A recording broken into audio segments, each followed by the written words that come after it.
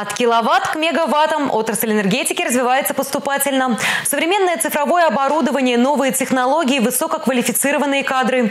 Свой профессиональный праздник отметили специалисты важного сектора экономики. Ставку сделали на цифровизацию. Современные технологии позволяют сегодня творить чудеса. Система энергоснабжения и потребления выстроена таким образом, что может работать почти автоматически. Два раза сократилось время на ликвидацию аварий.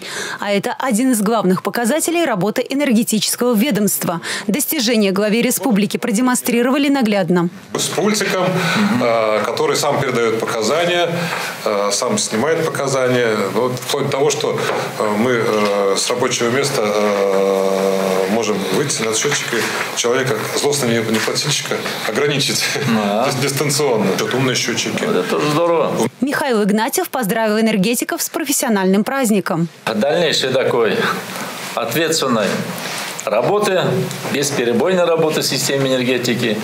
Вы тем более все управленцы у нас здесь, да? Да. Армия у вас большая, 1637 человек. Интеллектуальная система учета электрической энергии, говорят специалисты, установлена уже практически во всех районах республики. А это гарантия тепла и света. Наталья Мальчикова, Алина Сусметова, Валерий Резюков, Республика. Если позволите.